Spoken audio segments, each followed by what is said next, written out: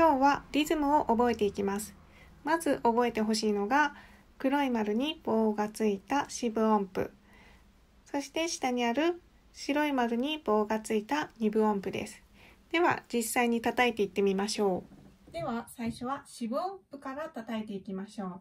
四分音符は黒い丸に棒がついたもの。タンタンタンタンタンタンタン個ずつ合わせて手拍子もしましょう。3、はい。タンタンタンタン。これが四分音符になります。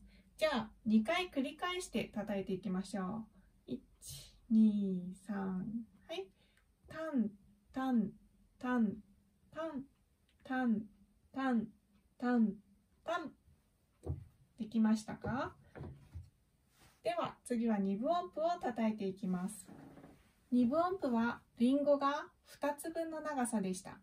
先ほどの四分音符はタン、タン、タン、タン、1個ずつだったんですけど、こちらはターン、ターン、ターン、ターンと2つずつ伸ばしていきます。手で叩くとこうなります。一緒にやってみましょう。3、はい。ターン、ターアン、ターアン、ターアン。このように四分音符と二分音符では音の長さが変わります。では、こっちの四分音符と二分音符つなげて叩いてみましょう。やってみると、タン、タン、タン、タン、ターアン、ターアン。このようになります。じゃあ、それを2回繰り返していきましょう。3、はい。タン、タン、タン、タン、ターアン、ターアン、タン、タン、タン、タン、ターアン、ターアン。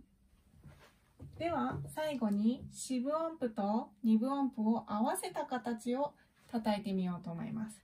これは、タン、タン、ターアン、タン、タン、ターアンという風になります。手で叩いてみると、タン、タン、ターアン、タン、タン、ターアン。このようになります。最初は四分音符とこの二分音符の違いをよく頭に入れて練習していってください。